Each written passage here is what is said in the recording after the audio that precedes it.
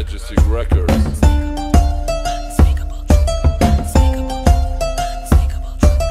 Truth, lies, fake alibis. We can't trust what's right before our eyes. You are now tuned in to the unspeakable truth. We are so excited to be stepping back into the political arena with our special guest, Bria Grant, Lance Dorsey Sr., and Michael Mayo Sr. On the show this week, we will be highlighting the recent heartbeat bills that are sweeping the nation. Could Wisconsin be next?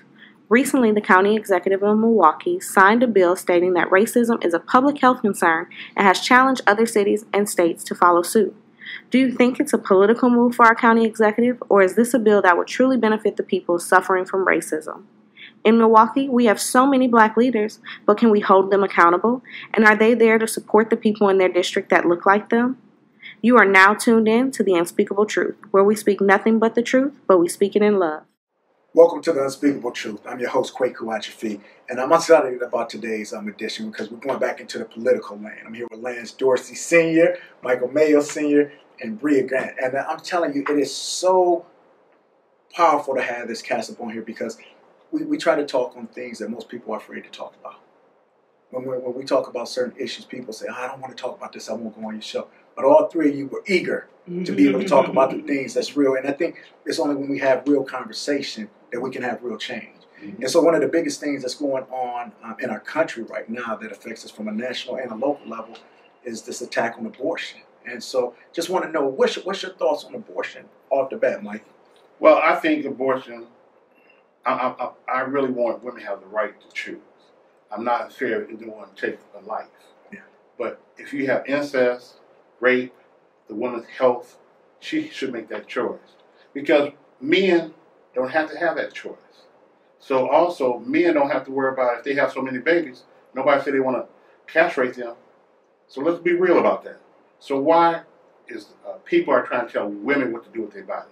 I have a problem with that. Okay, well, Bria, I'm gonna go with you with that. Talk on that. You're the one lone woman on the set. I know, right? So um, while I, I agree with um, super, Michael. supervisor, I, I, I, So I you agree- always you know that's that that's Uh-huh. just that eldership, right? You want to give respect where respect is Thank due. So um, I agree with Michael. I will add on to that though. As a woman, you know, the question for me in this wave, as it appears, right? We have all these co- these states right now that have anti-abortion bills, and this movement seems to have picked up a lot of steam. Why, right? Where is it coming from? Who's behind it? What's the motive? You know, and then when you look at the statistics and what's happening, in some ways you can kind of draw a picture of what the issue is, right?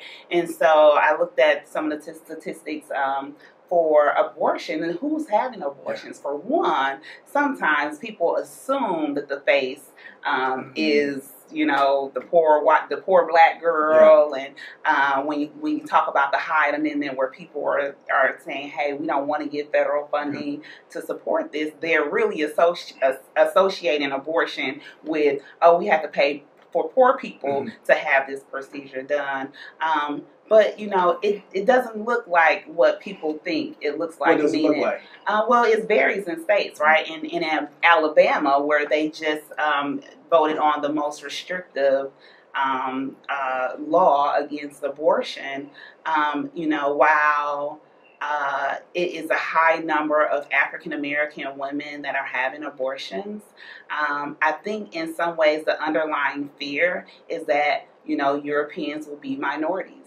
And you know, uh, we need to make sure that our European women don't participate in these procedures, So, so or me- it will. I don't want to get all Yeah. conspiracy theory on us, but then we will minimize our own population and will be dominated by by uh, those who we didn't build this country for. And So, so, I see Last you you chopping the go. on, yeah, on that point that you're making, uh, it's real because if you look at Europe right now and the low birth rate that they're having in Europe, you know, on our alabaster cousins, um, it's low.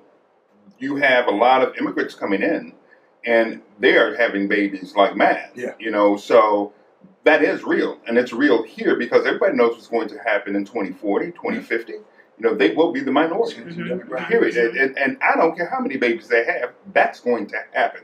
And that fear is real. Okay, but Okay. so so let's bring it back to the abortion though. So they're doing all these things in Alabama, in the South, all of these different states, Mhm. but we have a Roe v. Wade. That's federal. That's going to trump that. So, what do you really think the real incentive is for these states starting to do this right now? Well, I think it has to do with that, but right now is they have the Supreme Court in play. Yeah. Okay, so they're able to do that. Now, please let me add, because I was coming off your point, I'm a man, and I'm overtly challenged when it comes down to, the, to, to dealing with an abortion. You know, you know, if you if people are looking at the picture as a whole, ah, shit, you've got 25 men in Alabama that said, okay, women shouldn't have abortion. Not one But it was woman. a woman governor who Well, and actually she signed it off because she's a politician. Absolutely. Okay, she's a politician. Her her vote would have been overwritten with a veto. Yeah. Period. Okay, but understand what abortion, the politics of abortion really is. It's not about abortion. It's about politics. They can get their their grassroots all kicked up around. A baby, an, an unborn child can't speak up. An unborn child cannot be mad at you. An unborn child doesn't vote. So we can use that as a political axe to cut people off and, and use your your evangelical vote and Yeah. everything mm-hmm. else to get it going. And, and it's all politics. They don't give a rat's butt about these babies. They don't care. I want to highlight too and kind of go back to um, some of the point about who's having their abortions. Here in Wisconsin, there are 60% white women having abortions here in Wisconsin. So you don't hear us really have that, you know, saying hurrah Yeah. in some ways um, because it's just kind of the Rust Belt. We know how Yeah. our country is, is set up. There are morals and values and issues that are more prevalent in certain parts of our country than North. Um, but you know, the face of even the African American women are not poor women. Yeah. Right, there are women who are, um, in some cases, have had a child, and they are they are making what they feel is the best decision for their families um, or their career. You know, um, and and and doing it in what they feel is a responsible way. So this, this is what I'm gonna say, Mike. I want to give you the last word on this topic. So many times people talk about abortion, then they talk about the death penalty, the contradiction within inside of that. What is your thought? Is what's going to happen with abortion laws? Well, since they I'm have, talking constitutional, federal.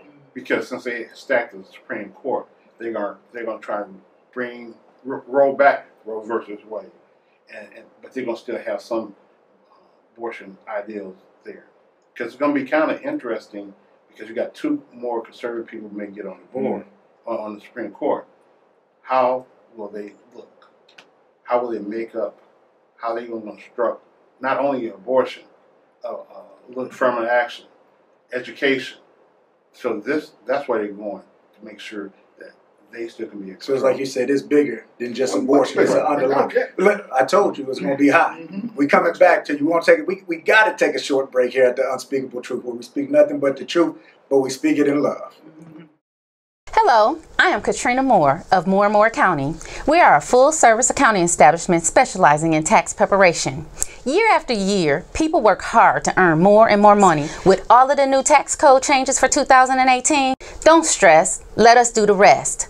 Our service is professional and affordable. Our people are courteous and knowledgeable. For an appointment, call today 414 213 8199. Moore and Moore Accounting, where you're more than just a number.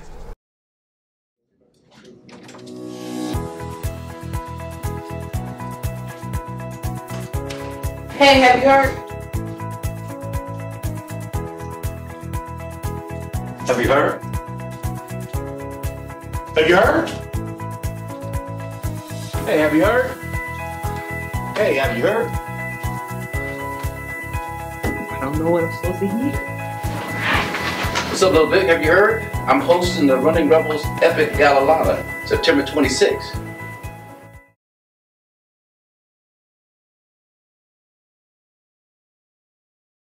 Welcome back to the Unspeakable Truth. I'm your host, Quaco Atrophy, joined by Bria, Mike, and Lance. And told you the conversation was going to be hot. Now, Lance, you talked about abortion, and you said it had nothing to do with the babies. You said this is all political. And, and as we kind of bring it back to a local standpoint, uh, our county executive, Chris Abele, just signed that racism is a public health concern documented in Milwaukee and challenged other cities within the state and other states to do the same thing.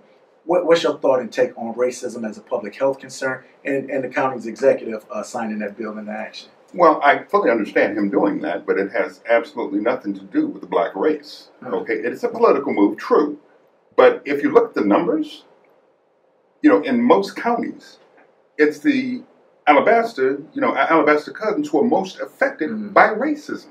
You see, that stress level is on them. A lot of people aren't recognizing that. I think there was in Alabama, one county, they said 38% of the mortality rates was higher in this one really, really racist county among Alabaster men. It's 31% higher for Alabaster women. It's 34% higher for black women. There's no difference for black men because we're the ones who are the victims of most racist taunts. So we don't feel it. We are not dying It's in something any different knew. way. We, we knew Right. we don't die at any different rate. Look at those numbers. Why are they really doing that? They're telling their own folk, you better step back and relax a little bit because this is real and it's affecting you.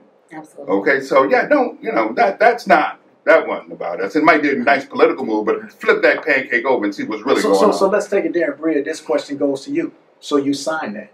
Okay, it's something we already knew, but you signed it, you documented. It. What's the aftermath? How does it look if you're serious about it? You know, I think we all recognize that things start with policy first, Okay. right? And once we can recognize and document that we uh, understand that this is impacting us, right, in the workplace, where as it relates to education, as it works to economics, because Mhm. essentially that's Mhm. that's the bottom line. How does this impact our economics? Correct. And when we understand work productivity and um, birth disparities and health disparities and all that such, um, we want to sign on, right? For us, for individuals who already know, um, I think this is an opportunity for us now to have some of our needs met in a way that um, we can be bold about. Right, and I think we, it's important for us to utilize this opportunity of our counterparts recognizing the uh, impacts of, of racial systems and uh, whether it's internalized, personally, uh, institutionalized racism, whatever it is, that um, we find ways to mitigate that and put resources, Yeah. dollars behind it. Mhm. So, so I'm listening to you, and so I'm gonna go to Mike Mayo Sr. because you sat in these seats where he had these conversations. You saw things. Talk, talk to me on this. I, I see you ready to go. You got your notes going. So, so holla at us. You know, it's amazing that when I heard about this signing of racism in Milwaukee County. Yeah. if you look at the airport, All right. airport they call it the plantation. Mm. They have no black managers at the airport. You don't have no one in key management position. Let's look at the transportation from Milwaukee County. I'm talking, let's talk about the bus system. Mm. Eighty percent of the drivers are black. When if we go back and look at the administration, I mean that runs our system that county funds them, ninety-five percent are white. let's talk about uh, the public works part of it. You have a young black lady there now, Mhm. but they have the call the uh, the workshop on the north side. They call it the black shop. that no female work there because they'll have no bathroom there, and most of all the black employees come out of that shop. So when you talk about black people and you want to help black people, is it really political? Look at the DBE participation when we try to give grants out. Yeah. And look at the disparity of how black men and women are getting crumbs. And then they give it to um, of the other whites, Mexicans too. hmm But we're talking about blacks at the present moment. It's not fair. So when, what I always look at it, I'm glad he did this. So you, now he put himself in the front line. I want anyone who have opportunity to get some money, who have a business, go to uh, county executive and say, I need opportunity. You said there's a disparity of black businesses in Milwaukee County, education in Milwaukee County, opportunities. Look at the employment of Milwaukee County when Scott Walker's there was there. Less blacks are working for the county now since Chris Abele been there. So let's Go work ahead. at it.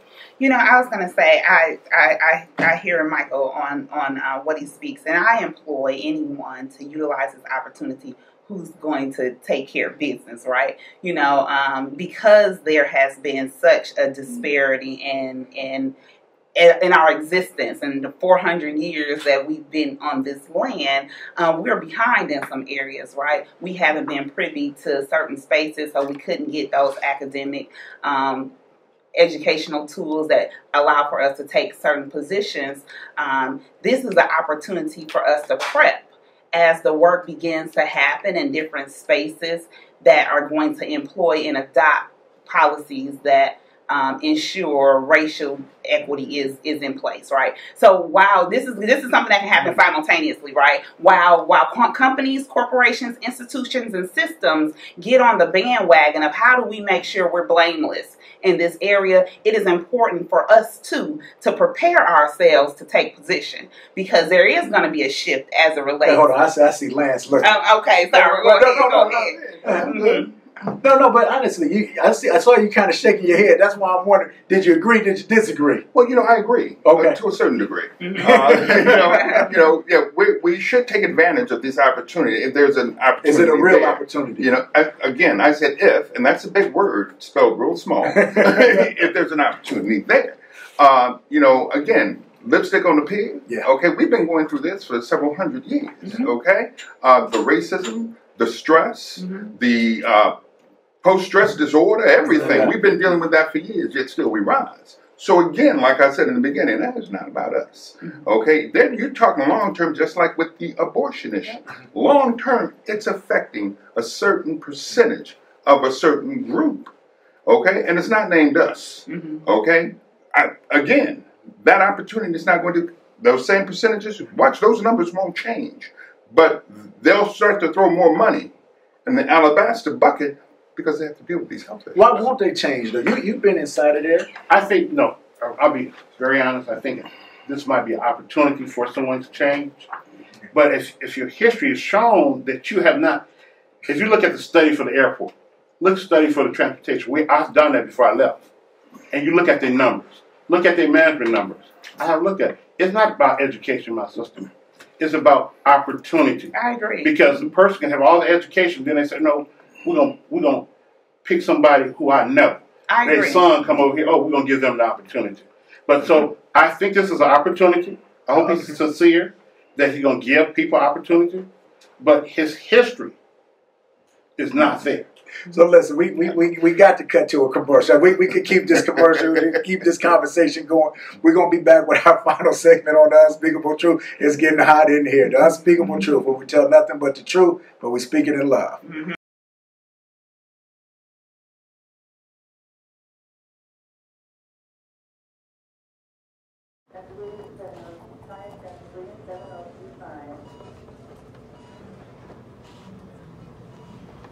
It's okay to be scared. Hmm? You don't have to be so strong.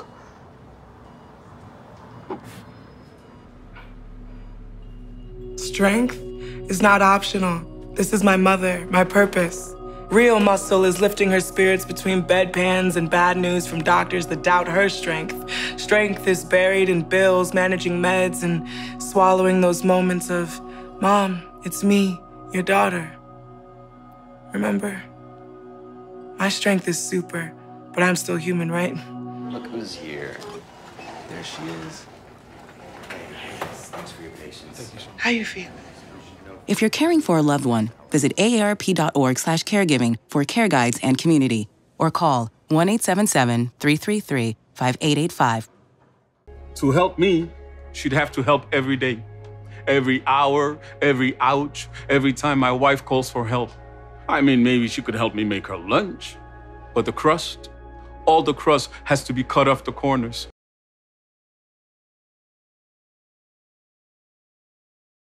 Bro, is you ready for this party tonight? Bro, you already know, and Kiki's supposed to slide through. Oh, for sure. Hey, I texted her parents not at the crib. You know I'm sliding through. Alright, bro, just make sure you protect us.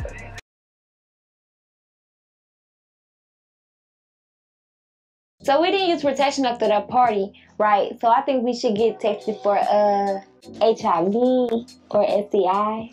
Uh, I mean, I I ain't been feeling different. I think I'm straight. I know, but you ain't gotta have any symptoms to have some. You are now watching The Unspeakable Truth. Welcome back to the Unspeakable Truth. Um, I hope you've been enjoying this conversation. I am. This is one of the rare episodes I ain't got to say nothing. I just let it flow.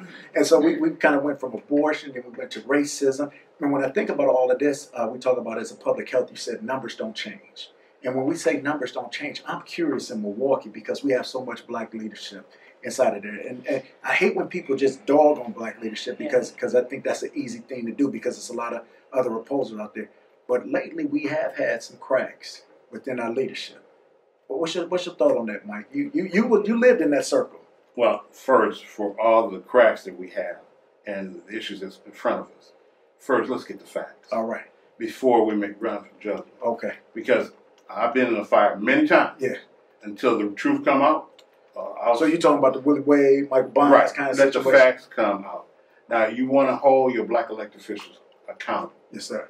But you also want to hold those white elected officials who represent you accountable. Yeah. And our leadership supposed to take care of their constituents. And see, people get confused when you say, well, they're black. Yes, they are black. But for instance, for myself, I had Sherman Park, I have a number of people.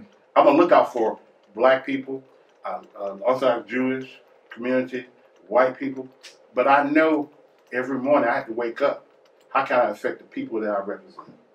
How can I make it better for them?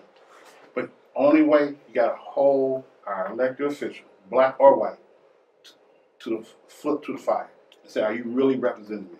Are you going to our meetings? Are you coming to the block club meetings?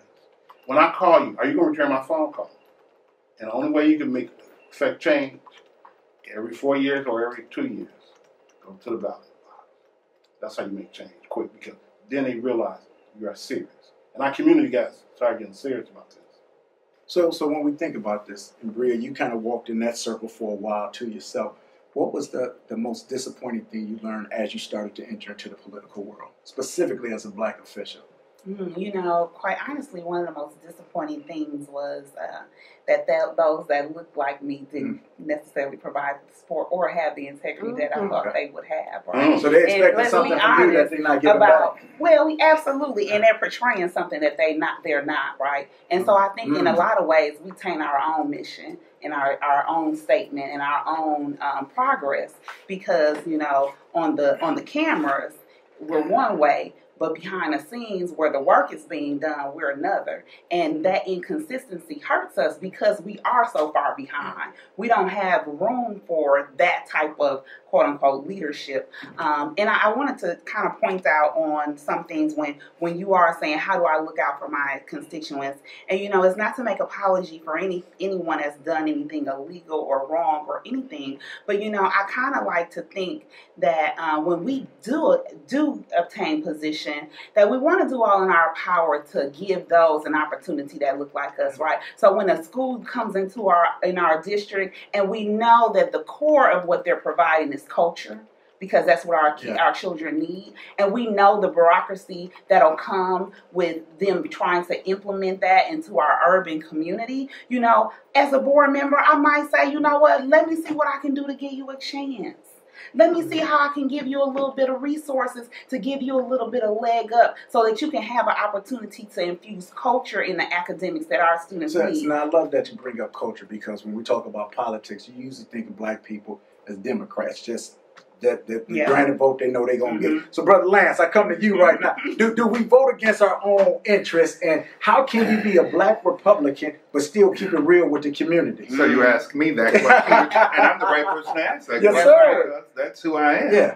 Uh, you know, my thing is when you know I'm not on the political, the politics side of it. I'm on the real political side of it. Okay. I'm a voter. Yes, sir. Mm-hmm. I vote for dog catcher. I don't care what the vote is on. I'm voting. Yes, sir. right. I'm at the Make sure meeting. voice is heard. I'm being heard. I'm being seen. Mm-hmm. Oh, that's that guy. Mm-hmm. When I call my alderman, and that's where I started. I call my alderman, my block All club politics rep. local. I'm all. I'm, I believe in the local thing. Yeah. Hey, what's going on? How you doing? I've got this. I don't care if it's a pothole. Mm-hmm. I don't care if the guys are not picking up the trash properly. Whatever needs to be done or whatever we need to talk about. Hey, you know, I vote. Okay, and I know other people who vote because everybody around me is going to vote. Okay, Yes. I don't care if you're voting mm-hmm. independent, Democratic, Republican. See, if your name is on that list, regardless of how you're voting, if your name is on that list, you got to say. That's right. For all the people who don't vote, mm. okay, that's all I got to say to you. Uh, Whatever. So, so the people say, well, we vote. Then you think about like, let's go back to Florida with the, the hanging chads. Let's say you go back to even 2016, where they say, look how the Russians voted into the electronic tampering Yeah. and whatnot. Does my vote really count? Keep voting. That's right. That's right. Keep That's voting, right. okay? That's Keep right. Keep voting, okay? Because as long as I got a vote, I got a voice. Yeah. And your voice And- do make a difference. Yes. Yeah. And uh, trust me, There's some politics. I didn't do the uh, leaders will look and see how many times are you a seven, or they're gonna return your phone call. Yes. But if you're a zero, you might get down real low on, uh, on the phone call. Good luck. Good luck. But Okay. you know, here's the other thing. You know, when we think about some of the things that have um, co- tried to compromise Yeah. our process, we should ask ourselves why. Right? If you're spending your money to compromise this process, you there's got to be some value that I don't understand. Right? You this can is why. weaponize anything. I tell people, I said, you might think the vote is not as big. I said, but it's something. So make sure that you utilize. I, got- I got to break us up. I got to break us up. But you know what? I, I- I'm hoping that y'all gonna come back and do this definitely, again. anytime. We got to come back and do this again. Before you leave, Yes, sir. say please vote. Please vote. Thank you. We, we have to. We, we can we see do. what's going on in the mm-hmm. local and the national level Mm-hmm. right now. I'd mm-hmm. just like to thank you for tuning in to the Unspeakable Truth. Mike, Bria, mm-hmm. Lance, I'd like to thank you for coming in, spending the time sharing your wisdom. And I just want you to know to vote. And remember, we told you that on the Unspeakable Truth, where we speak nothing but the truth, but we speak it in love. Whether you need a hand shopping for groceries, using up scraps, or finishing every bite, Meal Prep Mate can help you plan better and save more. Whether you're a newbie getting your first taste, a meal prepper honing your chops, or a meal prep pro hungry for a challenge, you can learn how to eat smarter, plan better, and save more at every step of meal prep. When you finish every bite, you save. Start prepping with Meal Prep Mate at savethefood.com.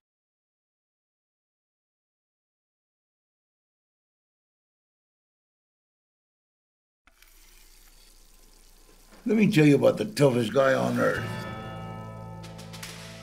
He does the work of two jobs, but only gets paid for one. He's tough enough to feed the man that gave him a lifetime of nourishment. He has the crazy strength to lift the man that raised him up without even flinching. That's right. No employee of the month bonus check here. This guy, no, this warrior, will always be by his father's side, even if his dad will hardly remember. Good luck finding a gym to train for that. If this guy isn't the toughest guy on the planet, then I don't know who is. Caregiving is tougher than tough. Find the care guides you need at aarp.org slash caregiving.